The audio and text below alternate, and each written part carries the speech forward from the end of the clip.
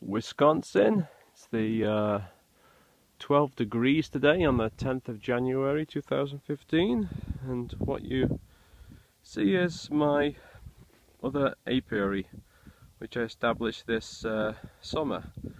As you can see it's almost uh,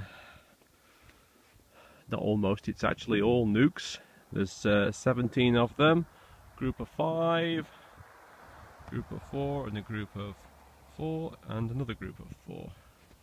If you notice you can see that uh, they're snow covered, I've got insulation on the side, a little bit of cardboard between them to keep them uh, the drafts out. On the top there's just a plastic bag cover, 2 inch styrofoam, bit of black, this is pond liner on the top, anything that doesn't really matter the top entrance is reduced. Um, that's a three quarter inch gap, I reduced that. The entrance there is closed off and way at the bottom we just have a little small opening on the entrance reducer. You notice they're alternated, well you wouldn't know it's north and south, but they're alternated north and south. These are the south facing ones. Easy way to tell how they're doing is um, if you get here in the early morning before it's before the sun gets going it these little holes become uh, become frost covered if you look around here on the ones that are north facing on a day like today they still are. And that's just frozen frozen bee breath. Bees are buzzing merrily in there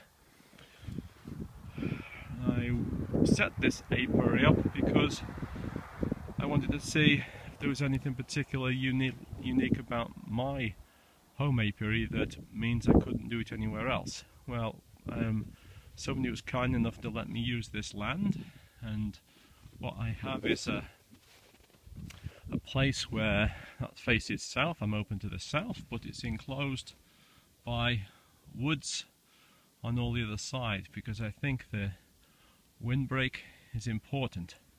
So my plan is to, um, um, I'll be selling some of these to the people I've promised them to and then others I'll be uh, growing uh, individual nuc into a double deep and then dividing it as I have been doing in the style of Mel Disselkoen and then growing them back into nucs um, as per Mike Palmer.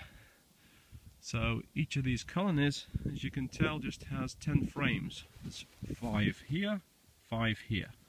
This gives a person more chances going into winter than if you have one colony in three deeps for the same amount of resources.